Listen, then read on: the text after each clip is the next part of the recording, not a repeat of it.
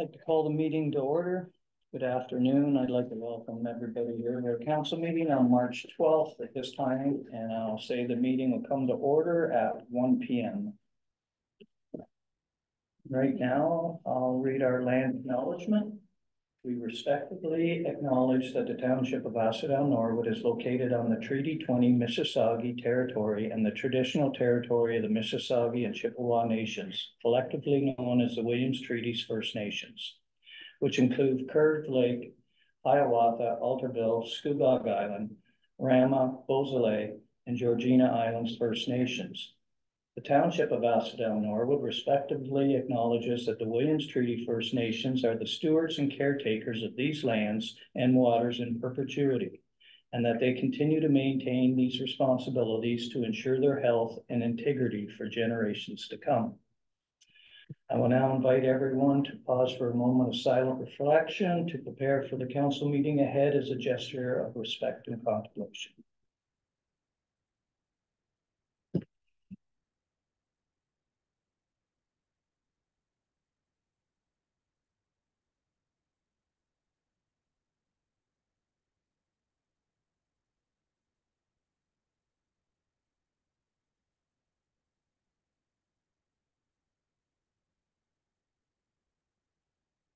I will now ask members of council to declare any direct or indirect pecuniary interest before this council.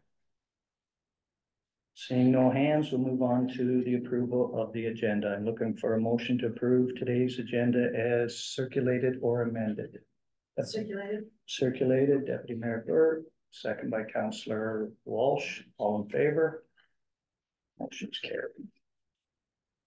Approval of the minutes. I'm now looking for a motion to adopt the regular and public minutes, meeting minutes of February twenty-seventh as presented or amended. As presented. As presented, Councillor War, seconder. Councillor Walsh With comment, with comment. Go ahead. uh, just on C three, if I can, uh, just a comment regarding the Ontario, um, Otonabee Regional Conservation Authority, uh, and their definition of a, This, oh, sorry, Still under approval minutes. I'm, Okay. I'm ahead of myself. I apologize. not a problem.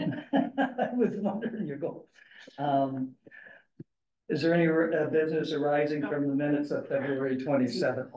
Oh, sorry, I'll call the motion. Everybody in favor? All right. Is there any business arising from the minutes of the twenty-seventh? No? All right, um. Moving on to the consent agenda. Um. Under the consent agenda, we have correspondence items C one through C five, report R one and the library board and special events committee meeting, meeting minutes. Do we have someone to approve these as circulated or amended? With the. Okay, seconded, Counselor Walsh, With comment, Counselor please. Walsh has a comment too, I know. Uh, Deputy Mayor Burt, Okay, um, I was just going to comment, uh, C one, R one, and then just a special events committee meeting, so. okay, at some point. uh, Council, do you want to proceed now on C one? Uh, Sure, sure. Um, just on the cemetery transfer abandonment. Um, I was actually surprised that we got a letter back about it. Um, that, that was basically my comment. Unfortunate that the letter stated what it did state because I I, I don't think this is the last that ministry is gonna see of it. No. Um, because it, it, it is an issue, so hopefully, um, I think it's something that, that we should keep on the back burner and, and I, I don't think we should give up on this yet. No. I, I think maybe down the road we will be, be able to get some funds, but I appreciated the letter, so that was Right. my, that was my C one.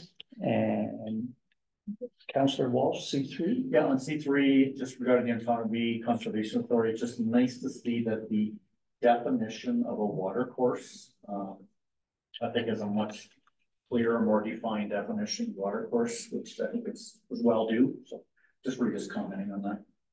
That in the permits, Yes. I did a lot more broad. Any other comments? Uh, Counselor Ward? Yes, thanks. I, I think on R one, Yes, uh, for the reports, that it, just the, uh, the review. the review was really well done. Uh, I thought it was really clear, the graphics are great, and you just don't realize how much the township does do in a year. And, uh, it was, it was nice to see that kind of in one report, so I just wanted to say well done.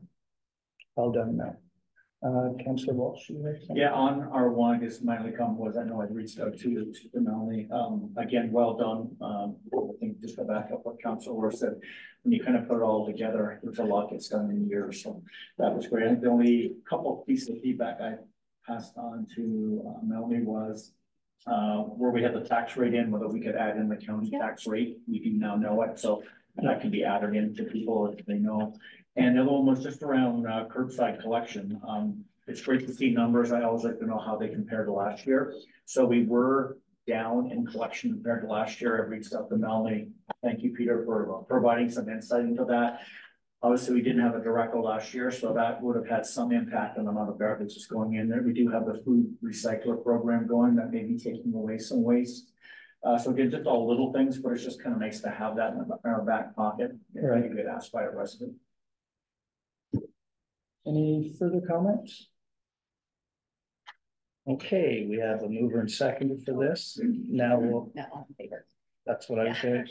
I had the one One more, more. yeah, I had the one more question, um, for the minutes of the special events committee. Yes, um, through you, and this is to Councillor Walsh. So in your, um, report for Canada Day, July twenty twenty-four, it said fireworks were confirmed, and I remember having a conversation, um, there was some discussion around whether we, whether or not we were having it, because Hastings does it.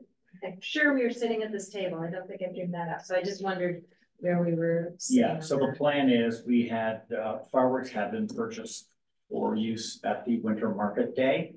And with all the construction going on Right, at the water tower, uh, that was just not feasible to do. Right, So we do have fireworks available, so the feeling was, we do have them. okay, Uh, the money is unfortunately, you know, fortunately, It's- it's unfortunately, been been invested. right. So the feeling was, let's, let's do plan to use them on Canada Day. But no, that, that discussion of whether we do have them going forward Mhm. has been discussed, because let's face it, the one that Hastings are spectacular, not that ours aren't good, but do we need to be competing against one another on the same event? Yeah, and I certainly agree with that, so I, I think it's something that needs to be decided at some point in time, so thank you. Uh, Councillor Ward. Um, thank you. Just to follow up on what Deputy Burt was saying, um, I, I agree that we, you know, we celebrate Canada Day, but let's focus on something that we really do well.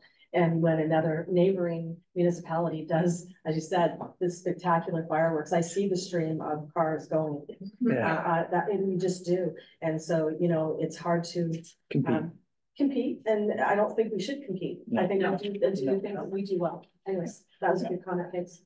Councillor Hutchins. Through you, Mayor, is it a case of they can just be saved for next Christmas, or is it too long to hold the fireworks until the December? event?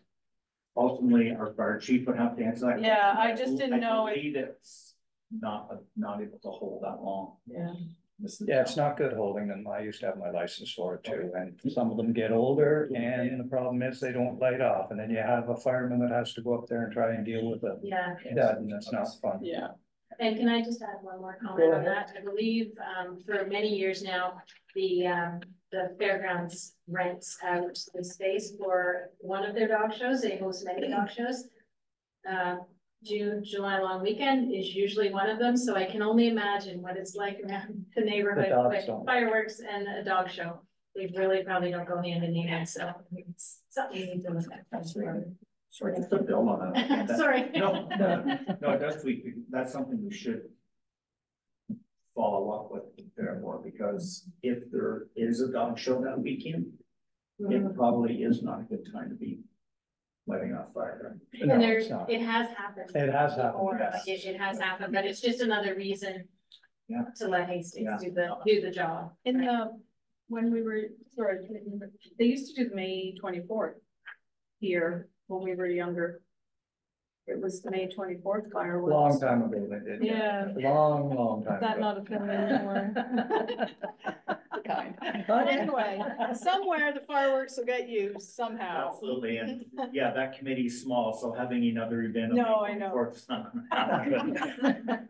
Just pull one up, whip one up, Barry, no problem. So can I have a motion of acceptance then? Everybody's in favor of that? That's fine.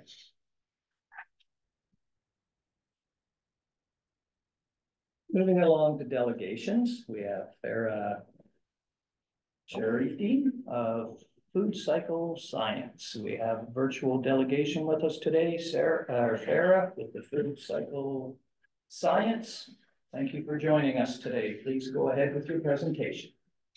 Thank you for having me. I will share my screen and then get started on the presentation.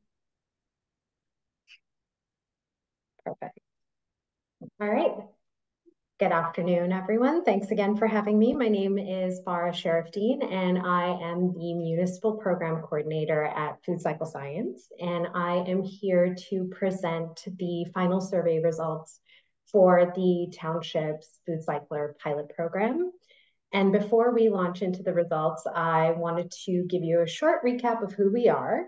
Um, food Cycle Science is a Canadian company. We're based out of Ottawa and we're 100% focused on providing food waste diversion solutions using our innovative technology called the Food Cycler. Uh, 2022 and 2023 were really big years for us. Uh, we were selected as finalists in Impact Canada's Food Waste Reduction Challenge. And I would like to acknowledge that your township's food cycler program was made part and possible due to the federal funding from this program. And as a company, we're really proud to say that as of today, the Food Cycler is the trusted food waste diversion solution for over 120 municipal partners in Canada. And when Asphodel Norwood joined, you were the 81st municipality to pilot the solution. And we'd like to acknowledge and thank you for your willingness to trial an innovative solution to the longstanding problem that is food waste. So without further ado, as I mentioned, with support from Impact Canada's Food Waste Reduction Challenge, your pilot was run that included 100 participating households. The net cost to the township was $10,000 plus shipping and HST. And your program ran from July to September of last year, where usage was tracked for 12 weeks to calculate total waste diversion, and your residents completed a survey to provide their data and feedback.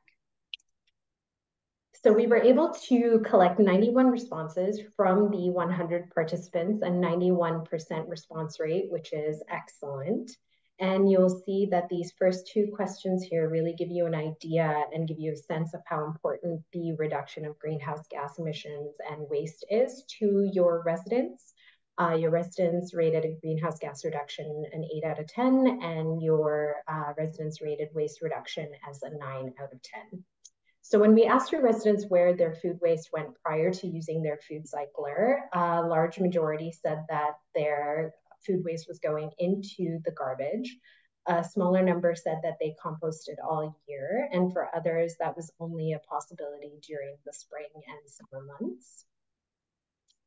And when we asked our residents why they didn't compost, 69% uh, chose not to because of concerns uh, with animals like bears and raccoons. And a large number of residents also reported concerns about odors, maintenance, and space. And these answers are very much in line with a lot of the data that we've collected in our municipal programs. And the food cycler really does prove to be a great solution for these issues because it's easy to use, it's odor free, and the byproduct prevents wildlife encounters. And when we look at the split of devices, um, it, was about a 60-40 split between the FC30s and Eco5s in the township. And when we look at the diversion data, um, your residents were running an average of 3.43 cycles per week on their FC30s and 3.14 cycles per week on their Maestros uh, or Eco 5s. So this is equivalent to 223 kilograms of food waste per year per household being diverted using the food cycler, which works out to 22.3 metric tons of food waste from the 100 food cyclers over the course of the year being diverted.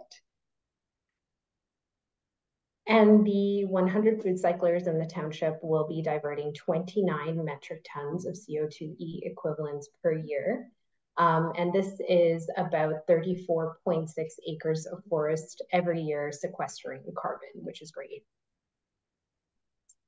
And when we asked your residents about the number of garbage bags they generated, standard garbage bags they generated prior to using their food cycler, they were generating about 1.24. And after using their food cycler, they were generating about 0.92. So this translates to your residents generating 0.32 fewer standard garbage bags per week, uh, which is a reduction of 16.6 garbage bags per household per year not being trucked to your local landfills. And we included some comments from your residents about the impact that's had on um, their waste. So when we asked your residents if increased awareness of food waste motivated them to waste less food, an overwhelming majority, 69.7% said that yes, it did. And when people manage their food waste at home, they really become much more aware of how much food they're wasting in the first place. And we always say the most effective waste diversion strategy is to not generate any waste to begin with. So the awareness that comes with this program is incredibly important. And even though it can be difficult to put that into numbers, it's an added value that the solution provides and definitely contributed to the reduction of garbage bags uh, mentioned in the previous slide. So when we asked your residents if the food cycler was large enough for the quantity of daily food waste they generated, 81% um, of people who chose the Maestro or the Eco5 said that yes, it did. And out of those that chose the FC30, 51% um, of people said that it was right size. In previous pilots that only had the FC30 as an option, we've seen anywhere from 40 to 65% of people saying that it was the right size for them. So this indicates that offering the Eco5 would double the capacity greatly increase resident satisfaction with the size of their food cycler. Uh, that being said, 49% of your residents who chose the FC30 still said they wished it was larger, uh, indicating that price might still be a factor in their choice of device. Um, so there is always an option to purchase a second bucket uh, that effectively doubles the capacity, um, and it's also a much more cost-effective solution for people who not be able to purchase an Eco5.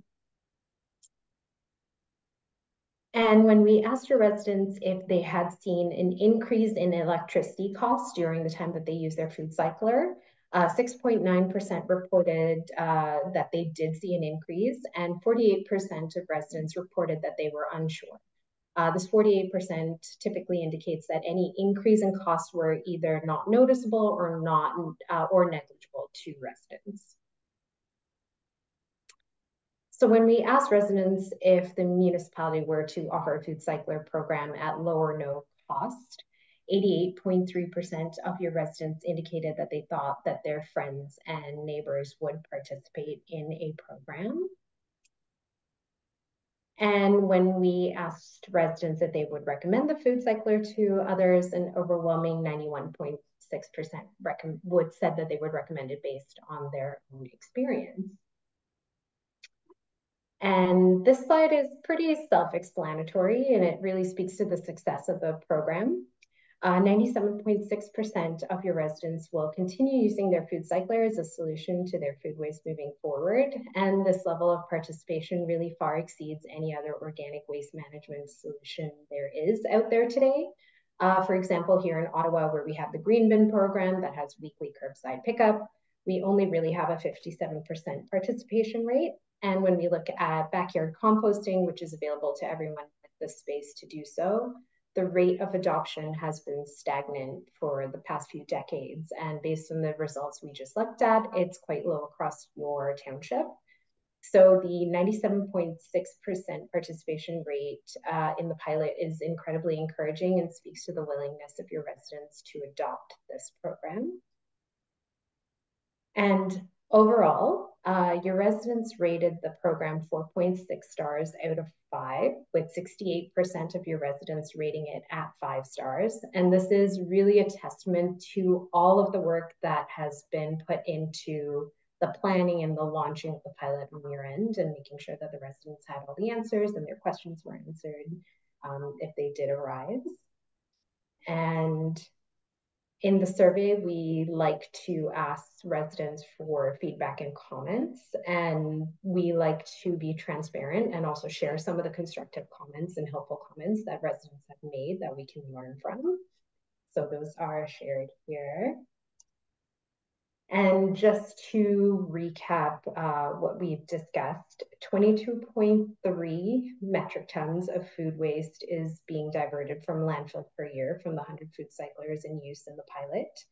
Your residents reported a 0.32 bag reduction, which is a 16.6 bag per resident per year um, reduction in food waste from the landfills and 97% of your residents will continue to use their food cycler. And just to kind of give you an idea of what it looks like um, to have the food cycler as a municipal wide uh, organic waste diversion solution, um, the city of Nelson in British Columbia has 5,000 homes and they've adopted the food cycler at the community level. Um, some of the resources in place um, is a partnership with the local grocery store where they host a refill station for residents to access carbon pellets for, for their filters for free. Uh, we also have a local repair program, bear-proof bins for residents to drop off their soil amendment um, if they don't use it at home. We also have an e-waste recycling program and an extensive education resource program. So the possibilities with an expansion really are endless um, and can be customized to what best. Sorry, did I? All right, and and uh, some other next steps, we do have a emission calculation tool, which offers you a life cycle analysis of a food cycler organics program. Um, it's a consultative tool uh, that helps you assess the impact your community has by eliminating GHG emissions and the impact it can have on sustainability efforts.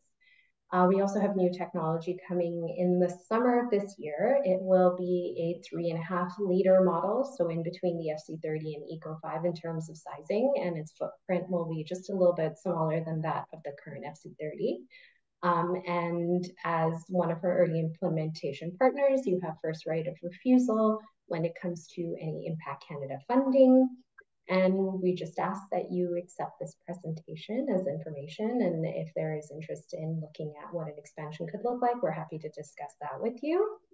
And that brings me to the end of my presentation. Thank you so much. Do you have any questions or comments? Any questions or comments, councillors? Uh, Councillor Ward? Uh, thank you for you, Mayor. Uh, thank you so much for the presentation. It was excellent. Um, I, I do have one question. Um, if that's okay. I don't know if you can hear me or not. I can, I can, which is great. okay. Um, I was just wondering, um, like, I think the ninety-two, um, percent, um, rate on the survey was really great for this Really community. Um, but I was wondering how many other, um, municipalities that did this pilot program are now expanding um, to do it again? And do you think that there is going to be more funding opportunities uh, from the government? Have you seen anything uh, to that as well?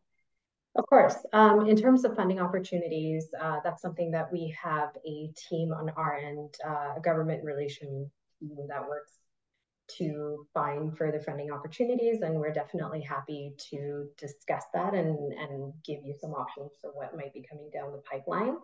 Um, and we have uh, actually quite a few expansion programs running right now from the pilots that we launched last year. I believe we're at five or six. I will, I can give you a more accurate number, but we've had um, quite a few of our municipal partners can come back to us, let us know about what an expansion would look like for them, what makes most sense for their community, um, and we make sure that we can work with them to kind of reflect that to the best of um, our capacity and in terms of what would be best suited within those municipalities and townships. Um, so we are definitely happy to kind of give you options and see what that looks like. The emissions calculation tool is also a really useful tool to kind of look at what expansions would be. We also have the feasibility study uh, run by the City of Nelson prior to implementing um, the citywide program. So that's something that we can also share with you and it just helps you make a better decision, makes you better informed in terms of what it should look like for your community. Thank you so much. Of course. Uh, Deputy Mayor Burke? Oh, yeah, thank you, Mayor. Thank you very much for the presentation. Um, and this is more of a comment for, for the rest of council. Last meeting, two meetings ago at county, um, last meeting, there was quite a discussion on, um, the, the way waste is kind of changing at the county, the looking at the upload of garbage from the township to the county, looking at green waste options. This is one of them. Um, there will be a delegation coming here in April, I believe, um, to hear all about that. So this ties in quite nicely to hear this before that comes here. So I just want to let everyone else know. So thank you. Perfect. Yes. And through you, Mayor, that was basically my question, is back to, to the county folks as Yes. to what's happening with potentially with green waste and with all the changes in, in, in overall garbage recycling, so. Time later, okay. Well, thank you again, uh, Farah, for your, uh, presentation. Uh, recommended motion is that the council of the township of Asphodel accepts this food cycler presentation for information. Uh, moved by Councillor Moore, Seconded by Councillor Hodge Greaves. All in favor? Motion's carried. Thank you so much, everyone. Have a good afternoon. Thanks. Moving along to our staff and committee reports. R two, uh, Peter DeShane, Manager of Public Works and Environmental Services, Tree Risk Assessment Report. Thank you, uh, through you, Mayor. Uh, so this report is regarding a tree risk assessment that, uh, the township completed in twenty twenty-three. Um, and it was completed by Davey, uh, Resource Group, uh, sorry, Davey, um, Davey Resource Group. Jeez, I'm almost speaking today. Tongue twister. It is a tongue twister for some reason. Um, so this was, uh, this was initiated as a result of the derecho in twenty twenty-two. Um, we felt that it, uh, would be good to assess all of the trees within the municipal right of way throughout the township and the village. Uh, just to determine what trees, uh, we would have that are considered high risk. Uh, so as you can see in the report, um, uh, attached. Uh, there was sort of a number of things that they looked at. Um, that included the location, uh, the diameter at breast height, uh, of the tree, and that's actually one point five meters, uh, below or above ground, sorry. Um, the species of each tree inventory was collected as well. Um, and the health condition was given a good or poor rating, um, or a dead rating as well. So upon completion of the condition assessment, uh, maintenance recommendations were provided for each tree. Um, and based on those recommendations, uh, there was a list, um, of priority one pruning trees, priority two pruning and priority three. And then priority one removal, uh, priority two and three removal as well. Uh, being priority one, being the most risk or the highest risk, um, trees. So in the table, um, you can see there was a total of one thousand six hundred and eighty-seven trees assessed, uh, during the program. And of those, uh, fifteen were rated as priority one pruning and sixty-two were, uh, rated as priority one removal. Uh, the largest portion of, the tree species, uh, in the, in the right of way that, um, are listed there at the most risk are white ash, and as we all know, that's probably as a a result of the uh emerald ash borer, um, unfortunately. Um, so staff, um, we have been working on a plan to take care of the removal or the pruning um of all those trees listed, and I will say that uh we're in really good shape right now. Um, we're actually at the point of uh, just, uh, getting some quotes for removal and pruning, uh, that we can't handle in-house. Uh, so those would be trees that are, uh, considered dangerous or close to hydro lines or any other objects that, uh, we don't want to damage. Uh, so we'll keep you updated as to the progress on that, but I, I would suggest that by the end of, um, this, uh, spring season, we'll be, uh, we'll be in really good shape. Uh, so financial im- implications, uh, the approved twenty twenty-four Public Works Operations budget included seventy-eight thousand dollars for the removal of the priority one trees and the priority one pruning. Um, and this includes, uh, rental costs for wood chipper, retention of a contractor for trees that, uh, we cannot remove with township resources. In conclusion, the tree assessment and inventory report will give staff a valuable reference to plan and manage high-risk trees throughout the township. It is evident that the emerald ash borer has had a significant impact on almost all of the ash trees within the township. And that the impacts of the derecho storm in twenty twenty-two were immediate and very little long-term effects are noticed as a result. Staff will work towards the removal of the priority one trees in twenty twenty-four and will build a plan for subsequent years uh, for all priority two and three trees as required. Um, and staff will develop a succession plan for the replacement of trees following the completion of the recommendations as set out in the report. And that is the end of my Okay, uh, thank you, Peter. Council state the recommended motion that the council of the township of Asphodel, Norwood receives its report regarding the tree risk assessment report for information. Moved by Councillor Walsh with comments, second by Deputy Mayor Burt. Comments, uh, go ahead, Councillor Walsh. Um, you, Mayor. Peter, so the seventy-seven trees will get taken care of. They'll, they'll fall easily within the seventy-eight thousand dollar budget we have. Will we use all that budget for those seventy-seven, or will there actually be budget left over that some of the priority two either pruning or, or removal could also be done in that budget? Uh, thank you for your mayor. Um, it, it looks like, uh, we're gonna have some budget left, although I will say though, um, we're gonna have to do some stump removal as well. So I think we'll find that the budget is probably gonna get mostly used. Uh, there is a, a large number of stumps now, um, that we're gonna have to take care of. Uh, but I will also say that I think we're gonna be we are gonna be in the priority two and three as well within this budget year.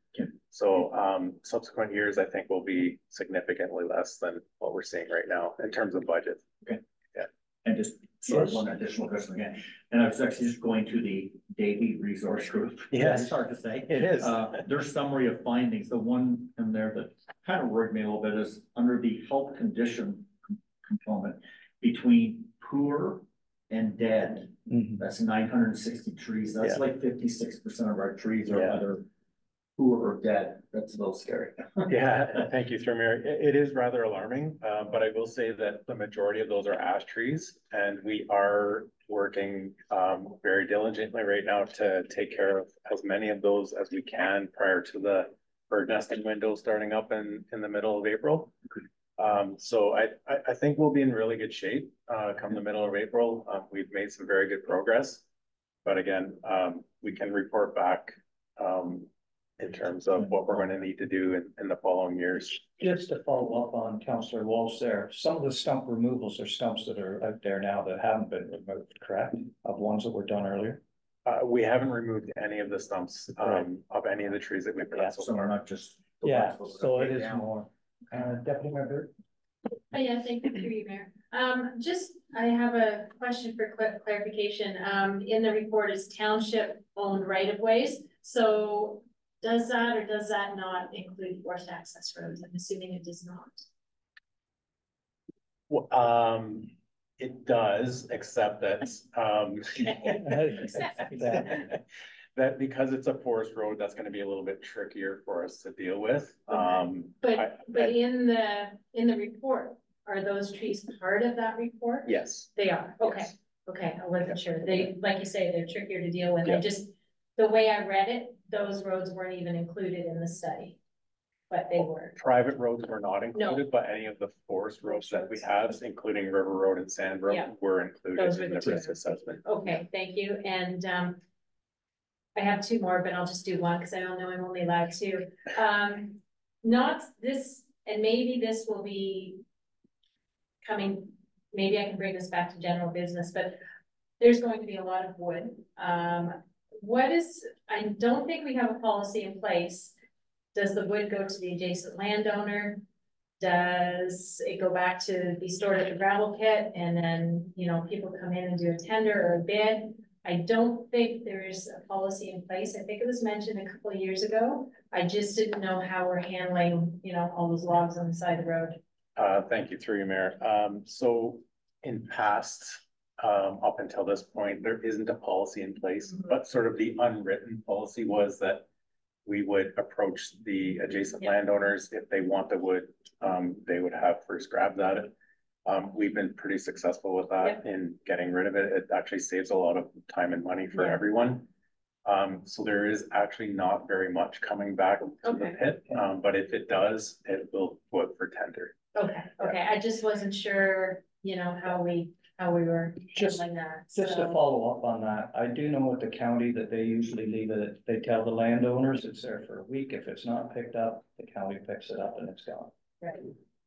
We, uh, yeah, thank you. Um, we actually don't leave it in the right of way. I just. uh, No. That, it- yeah, it's a bit of a risk for the township to leave it in the right of way, so we, we do actually, if they have a designated spot, um, that's very close, we'll just, um, take it there. It's quite easy for us to do. Right.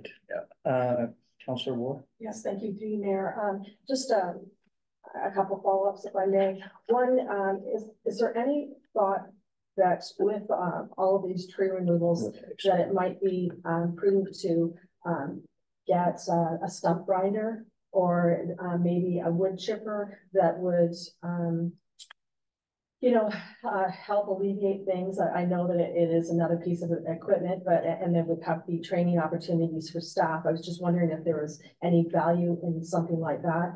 And my second question is, I did notice in the report that the mapping was all done by GIS, so it identified all the trees. So I assume that that's now the property of the township, so they can identify all the tree canopy that we paid for the report, I'm assuming, so. Yeah, so thank, my- those are my two questions, thanks. uh, thank you, uh, through you, Mayor. Um, there are gonna be a lot of stumps to take care of, and it's quite a little process. We have to get locates, um, before we can tackle them, because quite often there is a utility that um, gets intertwined with the roots, so we just want to make sure that we're not damaging that utility. Um, so I think, um, our approach is going to be to rent a stump grinder for now. I think the cost of purchasing one might not be feasible at this point. Um, but if we see that, um, the rental costs are gonna, uh, approach more than fifty percent of the cost of buying one, it would definitely be worth looking at it. Um, so we'll, we'll keep an eye on that. Um, in terms of having access to the GIS, um, we do have access to that. There is a, a web portal that they gave us access to, and we can go and, and get all the GIS locations, uh, from that portal. Okay, thank you. Just a follow-up question, Peter. Um, yes, trees are coming down. Are trees being replaced? Um, so as part of my conclusion, um, and recommendation, um, that we would develop, uh, a replacement program. Um, we do currently have five thousand dollars in our operating budget, um, for, it, it basically covers the cost of forty trees. Yes. Um, we are using those currently as a, as a live snow fence or in areas that we want to use as, a- as a live snow fence.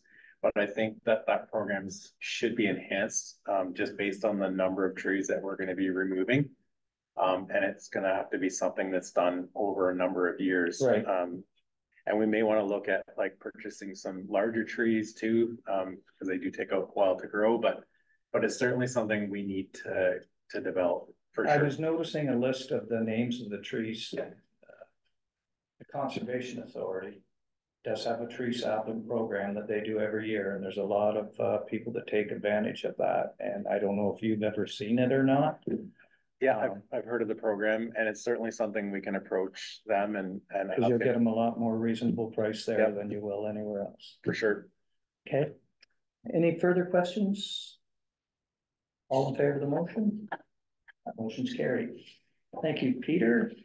And now we'll move on to the consent guideline. Yes, thank you, through you, Mayor. Uh, so this report is, uh, regarding municipal consent guideline. Um, in twenty twenty-one, the Building Broadband Faster Act, um, was adopted by the provincial government. And this legislation was intended to reduce barriers that can cause delays with building broadband infrastructure in all communities. And will help to provide reliable, high-speed internet. Um, so that legislation, along with the inception of funding from the provincial government to move this project forward. Uh, will result in uh, a large number of projects being uh, taken place or completed in a short period of time. And so municipal consent applications are going to increase for the township um, significantly when it comes to Norwood. Um, in terms of the timing as to when it's coming to Norwood, we're not really sure, although we think it's gonna be in twenty twenty-four. So we wanted to have a formal process in place um, that, that will help guide uh, both the uh, infrastructure owner and the township in um, getting these municipal consent um, permits issued. Um, so in general, municipal consent means that uh, it's a consent in writing from the municipality on any activity or land use or building use um, for which an application is made in terms of um, municipal policy, guidelines, standards, and bylaws, or other relevant legislation. So it's intended to give permission to a utility company or utility owner to start work and install their infrastructure or relocate it or upgrade, uh, whatever the case may be within a municipal right of way. Uh, it will involve a formal process of drawings, um, that will show the placement of apparatus and the utility within the township right of way. And it will be submitted for review and approval. Uh, consent will be accorded to applicants or applications that have considered low impact or limited deviations from the primary usage of the land or buildings within the right of way. And this guideline will provide consistency throughout the township within the township right of ways for the placement of this infrastructure. So in other words, the utility company won't be able to come in and place it wherever they want within the right of way. This will give us that authority to say we want it here so that we're consistent throughout the township. The application process will involve a utility company or applicant um, submitting an application, and that will be done through uh, the township's webs website. Um, there is um, an application form attached to the back of this report that they will fill out and um, submit. Um, and there will be a non-refundable application fee, uh, two hundred and fifty dollars that will go along with this application. And that is to cover the cost of the review and issuance of the permit. Um, under the guideline, applications are required to be submitted a minimum of thirty days prior to the commencement of any work. And that will give us time to review the applications and issue the permit. Um, and it is, it's expected, and this is in accordance with, uh, current legislation, um, that a response will be given within ten business days, uh, for proposed infrastructure extending less than thirty kilometers in length and twenty-five business days for infrastructure extending greater than thirty kilometers in length. And like I said, those uh timelines are intended to meet the requirements of table four performance timelines for buried route on municipal rights of way. Building broadband faster in Ontario, November twenty twenty-one. Um, on- upon completion of uh review of a municipal consent, um, a permit could be issued, um, provided that there are no concerns with the application. Um, and municipal consents will be valid for a period of twelve months. There will, uh, as I mentioned, there will be a non-refundable fee of two hundred and fifty dollars. Um, and the fees and charges by law will be updated accordingly, um, and presented at a future council meeting for consideration. Um, applicants will also be required to submit an application for a road occupancy permit at the same time, uh, or prior to completing any work. And that's in accordance with uh the township bylaw 2023-34. And failure to do so may result in enforcement of the bylaw up to and including fines. There is a detailed design requirement as part of their submission, um, and that will uh ensure that the vertical and horizontal alignment of the proposed work is in accordance with our policies or things that uh we may wish to impose. Um. The design requirements include um horizontal and vertical alignment, minimum clearance requirements from existing infrastructure, minimum depth of cover. Uh, requirements for surface access to infrastructure, um, like manholes and things like that, that they may have. Um, and or requirements for common trenches if they so choose to go that route as well. Um, the guideline will allow new road surfaces, um, to be protected. Um, so within the guideline, it's to ensure the long-term sustainability of township's infrastructure and disruption and inconvenience to the public resulting from repeated construction activity. Um, we want to make sure that that's minimized. Um, so this will mean that any proposed work in or under a new or recently reconstructed road surface will be reviewed uh, with an additional lens. For proposed work under any infrastructure that is three years old or less, it will undergo a comprehensive review, including the type and methods of construction being used in order to mitigate any potential ne negative impacts. This may mean alternative routes or construction methods uh, may be required by the applicant and, and justification will also uh, be required by the applicant for their proposed work under that new road surface. Uh, enforcement of the guideline, the guideline will allow, allow the township to enforce accept, acceptable restoration to the satisfaction of the township and or allow the township to recover any costs associated with deficient restoration that was not corrected by the applicant. This is a problem that we currently have, um, without this guideline. Infrastructure owners come in, they, they put something in within the right of way and they don't do restoration work appropriately, and then we're left to take care of the mess. Um, the guideline, another really important, uh, part of this guideline will be the as-built records. Um, all applicants will be required to provide as-built records to the township within sixty days of completing their work. Um, this will, um, give the township uh, records of that infrastructure when planning, uh, future work, whether it's a reconstruction project or another application from another infrastructure owner. Uh, so that there are no conflicts, hopefully. Uh, financial implications, application fees collected from municipal consent applications will be transferred to the appropriate capital construction reserve. Uh, this will either be public works, uh, construction reserve or water wastewater capital construction reserve. Or a combination of the two, depending on, uh, what it impacts.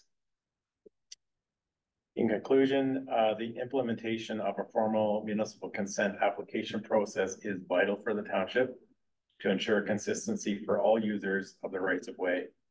Staff recommend that the municipal consent guideline be adopted and implemented as the official guideline and process for municipal consent. That's the end of my report. Thank you, Peter. Um, I'll state the recommended motion. that The council of the township of Asphodel Norwood accepts this report regarding the municipal consent guideline for information and further that the council of the township of Asphodel Norwood adopts this municipal consent guideline as a formal process for municipal consent. Move, move, mover, Yes. uh, Deputy Mayor Burt, second by Councillor Hodge Greaves. Any further discussion to Peter? Councillor Walsh? Through you, Mayor, more just a comment, uh, Peter, well done, it's, it's nice to have it really buttoned down on exactly what. A utility company coming in here knows what they need to do, and if they don't do it, they know what's gonna be re. Uh, there'll, there'll be no surprises after the fact, I, I especially like, I just reading the as-built records again, and just, you know, what if you don't do it, we'll get the work done and you're gonna, you're gonna pay for it. Exactly. That, that's important to have, that we have that information after a project is completed too, so well done. And is the two hundred and fifty dollars enough to cover this?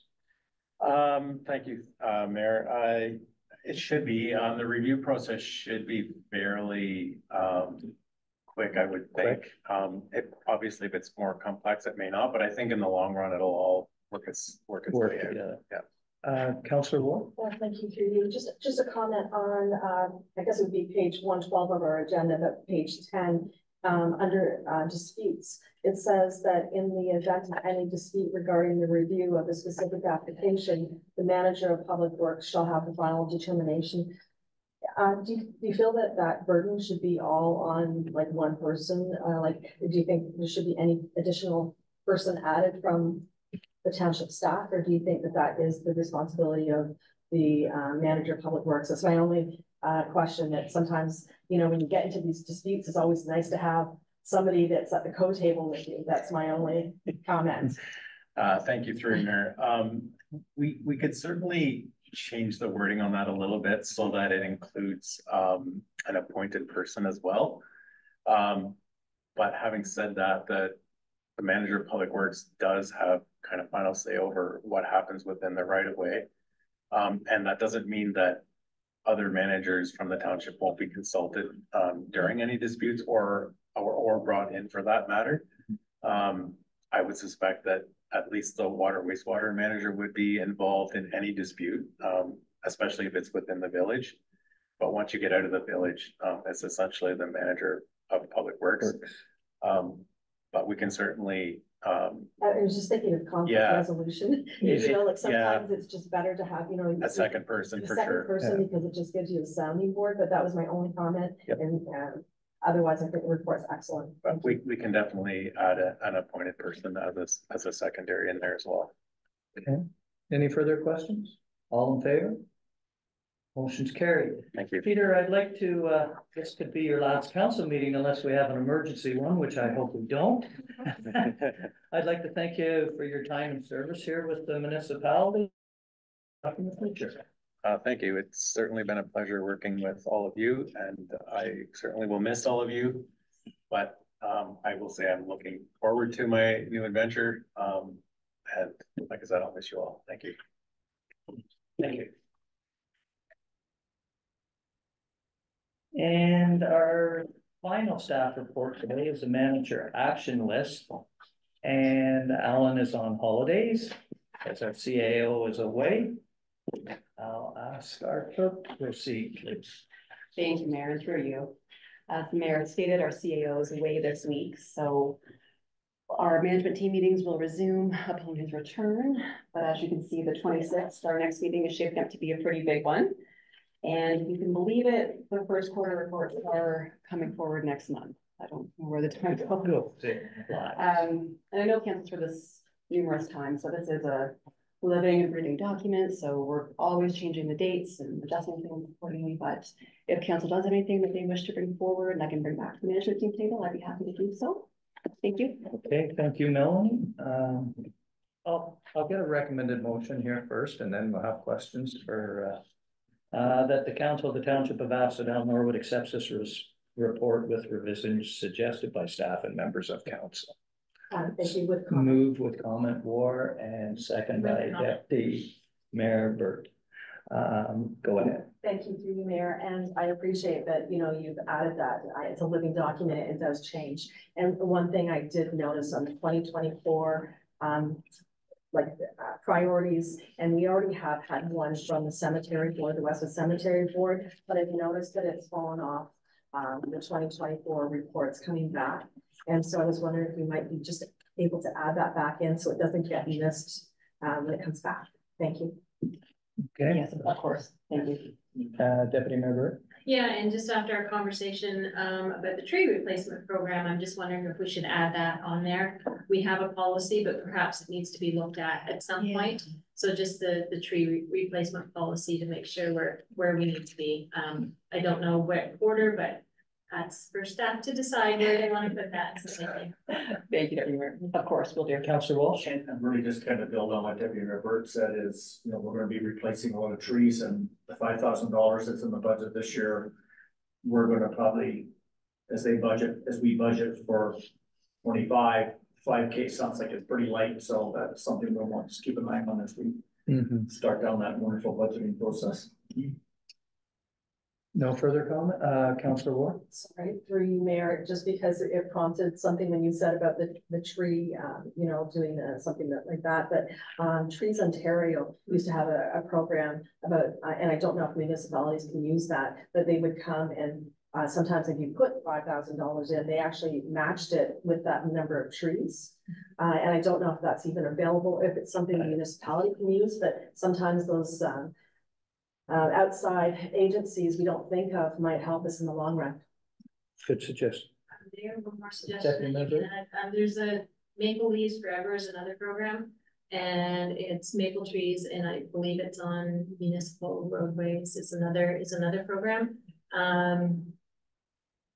You'd have to look at it, I, I think it would be, the trees would be pretty much going out right now, so it's something you'd have to look at. Yeah, Sure, sure. but I, I think it's Maple Leaves Forever, I believe is the program. Yeah, I think the conservation is till the end of Sorry, you, March. you also mentioned. March 31st. You've mentioned the conservation one, so there- there are potentially some There are avenues lots. out there. Well, so are the ones that we put on the sixth line. Yeah. That we paid a lot for.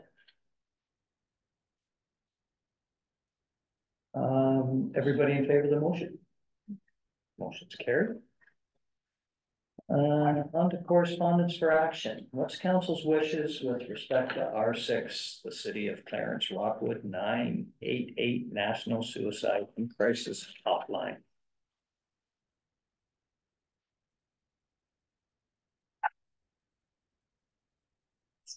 Support? All in favor? Motion's carried. Council liaison reports. Uh, does anybody have anything they wish to bring forward? Uh, Council Ward. Thank you through your Nana. Uh, I did send this to, um, our clerk Melanie, so she has, it has it on for, uh, oh, thank you. Instead of reading it on my phone, thank you. Um, yes, the uh, Cultural and Heritage Committee, it's been really busy. Uh, we met February seventeenth, the twentieth. Um, and the twenty-third, I attended the digital, um, Brighton Digital Archives because they are doing a project and they were highlighting how they archived and made digital formats of their collection, so I was able to attend that. It was really interesting because it's something that we want to do at the Heritage Center. And uh, February twenty-eighth, we completed the um, spring newsletter for the ANCHC, and I, I put, uh, I gave each one of our counselors, one of them, and um, Melanie is gracious enough, she's gonna put it up on the township website as well. Um, March 9th, the Norwood Town Hall, we had the homage, and it was very well attended. Um, he, he was a remarkable speaker, a little odd maybe for International Women's Day, but he really tied in what he was doing with, with what the presentation was. Thank you for everyone attending, and thank you for the help of staff to get the posters and the, um, you know, all of that out on social media. Um, he gave permission to have the homage presentation. Um, we did a Facebook Live, and as of today, we have over five hundred views um, which is great. So not only of people in attendance, but people that watch the presentation. And just an update, our Asphodel North, um, Historical Society Facebook page now has over seven hundred followers, which I think that's pretty good. And our next historical gathering is April sixteenth. It's going to be at the Norwood, uh, Town Hall, and it's, um, a show and tell. It's our version of an Antique Roadshow. And our next open date at the Heritage Center is May fourth and fifth, and, or by appointment. And then, sorry, one more report, and I apologize for not having this done, but we had the meetings in between, uh, and I, you know, we just had the homage on the weekend, so. Uh, the Asphodel Norwood Business Advisory Committee, the BAC, we had a meeting March fifth at the Norwood Town Hall. And our CAO, Alan Hewitt, and our, uh, Community Program Coordinator, Prudence, were in attendance. Uh, it was great. Um, it's nice to have the staff involved. We have now set a meeting schedule and we are now having daytime meetings.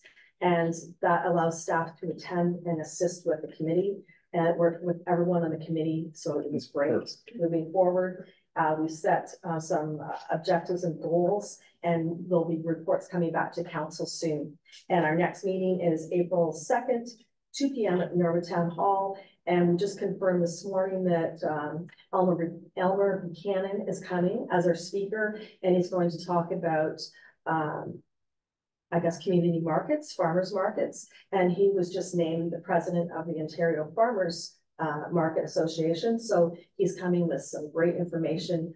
Um, so the, the meeting is open to the public. So that's all I have. Thank you. Very nice. Uh, Councillor, or Deputy Mayor Burke? Uh, thank you through you. Uh, library board meeting was held last night in Westwood.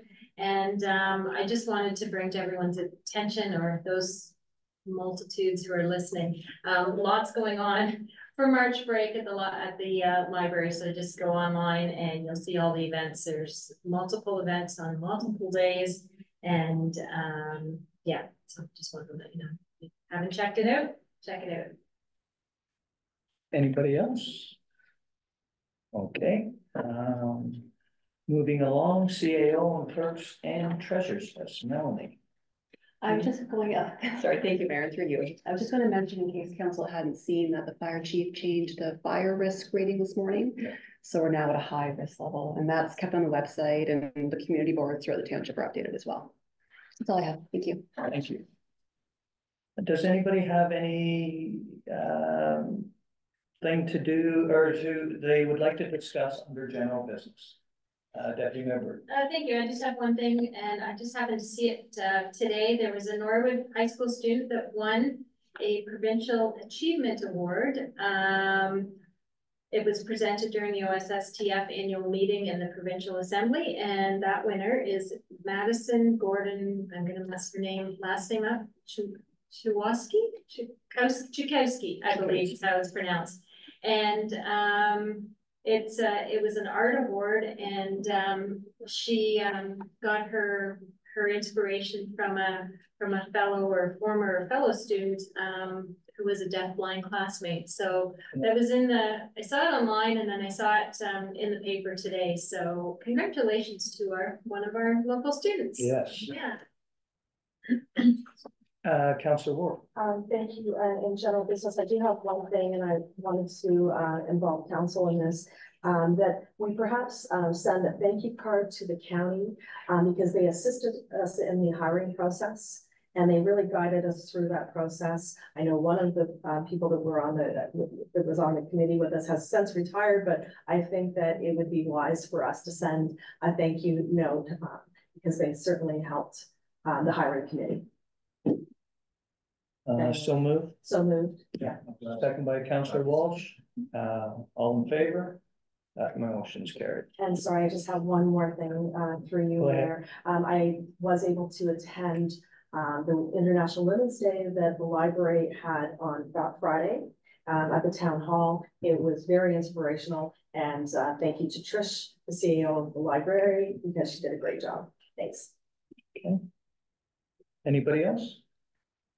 Moving along, uh, we'll now be going into a closed session and the time is two oh two to discuss personal matters about an identifiable individual, including municipal or local board employees in accordance with section two thirty-nine two, section B of the municipal act. Can I have a mover?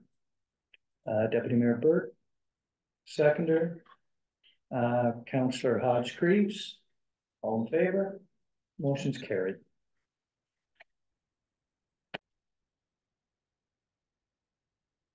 Uh, can I have a recommendation that the council of the township of Asphodel Norwood reconvene the open session at two fifty-seven P M with a report, or with a motion, sorry, Motion to. report Yeah. to follow. Uh, so moved by, I'll make a motion that, uh, we- follow direction to get it closed. okay. Moved by Walsh, seconded by Counselor Ward, all in favor? Motion's carried.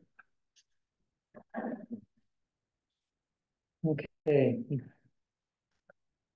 Now that we're back in open session at two fifty-eight, I'll ask for a motion to follow direction and close, which we just did, correct? All right, motion, uh, or a notice of motion, we have a notice of motion today from Councillor Hodge Greaves. And I'll state the motion and ask for a seconder. that the council of the township of Asphodel Norwood direct staff to send correspondence to the provincial government and Ontario municipalities expressing concern about the possible closure of regional public health Ontario laboratories as stated in the office of the Auditor General of Ontario's value for money audit.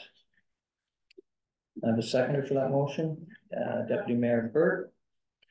Any further discussion? I've read, the everybody's read the report. All in favor? That motion's carried. Uh, bylaws, we have no bylaws today, so we'll move on to the conforming bylaw now. That the bylaw to confirm the proceedings of the regular meeting of the council of the township of Asphodel Norwood held this date, March 12, thousand twenty-four, be read a first, second, and third time in number 2024-14. Councillor Walsh, uh, Counselor Roar, all in favor? Motion's carried. Council, we see our future meeting schedule before you. And that includes our business for today. Uh, can I have a motion for adjournment, please? And that's at two fifty-nine, moved by Deputy Mayor Burt, second by Counselor Hodge Greaves, all in favor? Motion's carried. Thank you very much.